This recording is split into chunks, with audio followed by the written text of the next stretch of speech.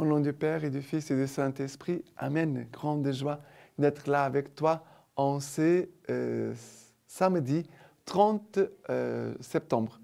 Et aujourd'hui, nous célébrons Saint Jérôme. Nous sommes à la fin déjà du mois de septembre. Saint Jérôme, c'est lui qui a traduit la Bible pour le latin. Et c'est grâce aussi à lui que nous avons aujourd'hui accès vraiment avec facilité à, la Bible, à la lecture de la parole de Dieu. Et euh, la première lecture d'aujourd'hui, c'est Zacharie, chapitre 2, à partir du verset 5. Puis, je levai les yeux et j'eus une vision. Voici, il y avait un homme et dans sa main un cours d'eau pour mesurer. Je lui dis, Où vas-tu? Il me dit, Mesurer Jérusalem pour voir quelle est sa largeur et quelle est sa longueur. Et voici l'ange qui me parlait s'avança et un autre ange s'avança au-devant de lui. Il lui dit, Cours, parle à, cette, à ce jeune homme et dis-lui, Jérusalem doit rester ouverte à cause de la quantité d'hommes et de bétail qui s'y trouvent. Quant à moi, je serai pour elle, oracle du Seigneur, une muraille de feu tout autour, et je serai sa gloire. Chante, réjouis-toi, fille de Sion, car voici que je viens pour demeurer au milieu de toi, oracle du Seigneur. Des nations nombreuses s'attacheront au Seigneur en ce jour-là. Elles seront pour lui un peuple. Elles habiteront au milieu de toi. Et tu sauras que le Seigneur Sabaoth m'a envoyé vers toi. Alors, ici, euh, c'est le prophète Zacharie euh, à qui Dieu va demander, mesure Jérusalem pour voir quelle est sa largeur et quelle est sa longueur. Première chose, on va mesurer la largeur et la longueur. Est-ce qu'il y a de l'espace dans ton cœur?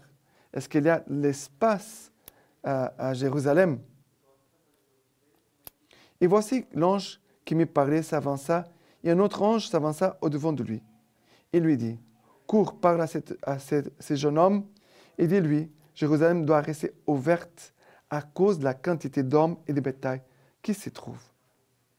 Voilà, Dieu a besoin d'élargir notre cœur pour avoir de la place pour tous ceux que le Seigneur veut nous envoyer. Ça, c'est la, dimension de l'amour. C'est lui qui, qui, aime. Il a un cœur grand ouvert. Il est large. Il est large pour accueillir, accueillir les personnes, pour les aimer. En même temps, la longueur, largeur et longueur. Longueur, ça veut dire la fidélité dans l'amour. Parce que je peux aimer quelqu'un aujourd'hui, j'étais ouvert mes bras, je t'aime maintenant, mais, mais demain, ça, ça, me fatigue. Hein. Maintenant, euh, je, te jette dehors, je ne veux plus, je suis fatigué. L'amour qui doit être large pour accueillir, c'est pour ça que Dieu demande que Jérusalem doit rester ouverte, mais en même temps, la longueur, c'est la fidélité. Dieu nous aime, toujours avec un cœur ouvert, et Dieu aussi nous aime dans la fidélité, dans la longueur, dans, la, dans le temps. D'accord? D'accord? Et Dieu dit, je serai pour elle une muraille de feu tout autour, et je serai là, je serai sa gloire. Voilà, Dieu veut être autour de toi comme cette muraille de feu qui nous éclaire, que la, chaleur, la présence du Seigneur, cet amour du Seigneur qui est chaleur, mais aussi qui est consolation et qui est aussi lumière, qui ne, nous laisse pas dans, dans, nos ténèbres. Mais la deuxième partie, c'est que Seigneur invite, chante, réjouis-toi, fille de euh, car je veux, euh, je viens pour demeurer en milieu de toi. Le Seigneur demeurer, s'incarner en fait écouter la parole de Dieu, c'est le travail d'incarnation. Quand j'écoute la parole de Dieu, Dieu est en train d'entrer. Jésus est en train de s'incarner, de prendre notre chair. Jésus entre en nous par nos oreilles. Voilà. Jésus est en train d'entrer et de demeurer au milieu de nous. Voilà. Et nous dit qu'elles seront pour lui un peuple. Et lui habitera au milieu de nous. Voilà. C'est le Seigneur veut vraiment nous marquer dans cette présence du Seigneur en nous, l'incarnation du Verbe, mais en même temps dans cette, notre appartenance. Nous sommes à lui. Notre joie, c'est d'appartenir au Seigneur. Nous sommes à lui. D'accord? Et le psaume d'aujourd'hui, c'est le psaume euh, du, livre du prophète Jérémie. C'est un cantique, chapitre 31, à partir du verset 10. Nation, écoutez la parole du Seigneur, annoncez-la dans les îles, lointaines. Dites, c'est lui qui dispersa Israël, le rassemble. Il le garde comme un pasteur son troupeau, car le Seigneur a racheté Jacob. Il l'a délivré de la main d'un plus fort. Ils viendront criant de joie sur la hauteur de Sion. Ils afflueront vers les biens du Seigneur. Et après, verset 13. Alors la Vierge prendra joie à la danse, et ensemble les jeunes et les vieux. Je changerai leur deuil en allégresse. Je le consolerai, je le réjouirai après leur peine. Alors, le Seigneur veut nous garder comme un pasteur garde son troupeau par l'écoute de la parole du Seigneur et en train de nous guider. Jésus, qui est le bon berger, par sa parole, il est en train de nous rassembler, il est en train de nous garder comme son troupeau. Il est en train de nous délivrer de la main d'un plus fort. Le Seigneur a racheté Jacob, il a délivré de la main d'un plus fort. Et écoutez la parole de Dieu, elle va produire la joie. Et va produire cette joie et cette danse.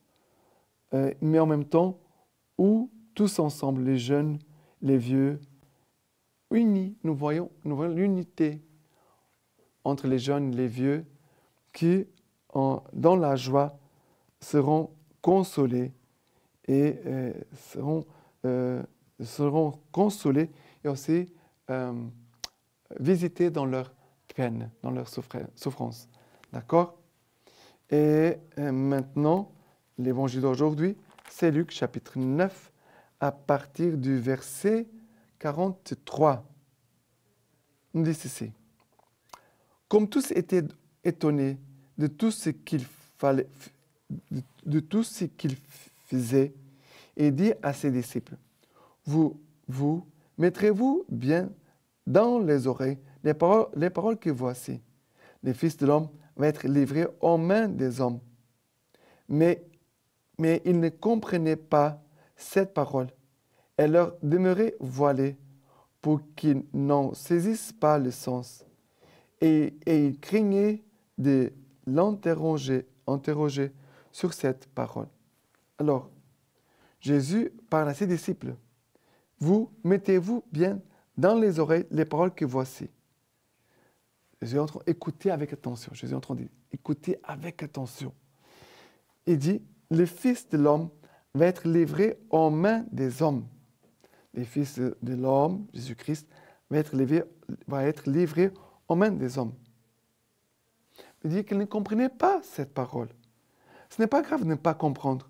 Le problème, c'est que même si la parole demeurait voilée pour eux, il ne comprenait pas le sens, mais il, ne posait pas la question à Jésus-Christ, Seigneur, explique-moi ta parole. Nous voyons euh, d'autres moments où les disciples de Jésus vont dire, Seigneur, explique-nous la parabole. Quand Jésus a expliqué la parabole ce mari, il lui dit, mais Seigneur, explique-nous cette parabole. Il y a d'autres passages où il dit, Seigneur, cette parole c'est pour nous, c'est pour d'autres, explique-nous, Seigneur. Ça veut dire que le problème, ce n'est pas que je n'ai pas tout compris. Certainement, il y a beaucoup de choses que je ne comprends pas. Dans les Écritures, je ne comprends pas tout. Mais le problème, c'est ne pas poser la question au Seigneur, Seigneur, explique-moi, par ton Esprit Saint, explique-moi.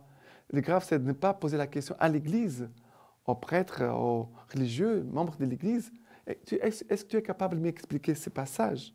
Explique-moi, s'il te plaît. Le plus grave, c'est que la personne se elle ne sait pas, mais elle ne cherche non plus à savoir.